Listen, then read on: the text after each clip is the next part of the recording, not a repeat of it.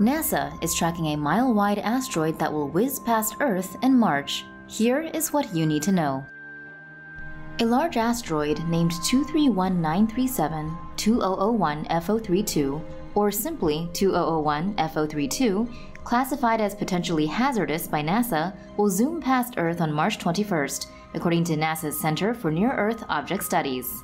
The asteroid is possibly traveling at a speed of 124,000 kilometers per hour or 77,000 miles per hour, according to the center's database. Using data from NASA's Jet Propulsion Laboratory, spacereference.org writes that the asteroid is probably between 0.767 kilometers to 1.714 kilometers in diameter, making it larger than 97% of all asteroids. This is very roughly comparable in size to the Golden Gate Bridge, which is 2.7 kilometers long. At 1.7 kilometers, which is roughly equal to 1.1 miles, it would be more than twice as tall as the world's tallest man made structure, the Burj Khalifa in Dubai.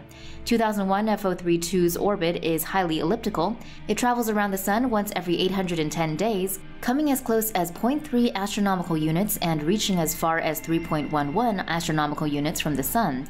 According to NASA's Asteroid Watch, it will pass Earth at a distance of 1.2 million miles, or more than 2 million kilometers, on March 21st. That's more than five times the distance from the Earth to the Moon.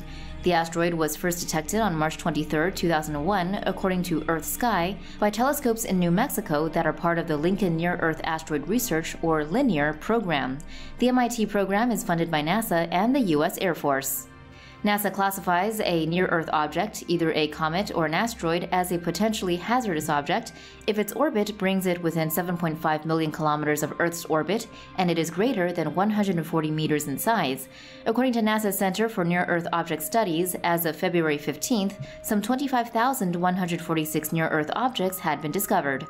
The latest data on the center's website shows that 9,562 of these were 140 meters or larger in size, and 888 were estimated to be larger than 1 kilometer. By comparison, the massive Chicxulub asteroid that wiped out the dinosaurs is estimated to have been 11 kilometers to 81 kilometers in diameter. For more news animations and explainers, hit the subscribe and bell button to join the Tomo News family. Thanks for watching.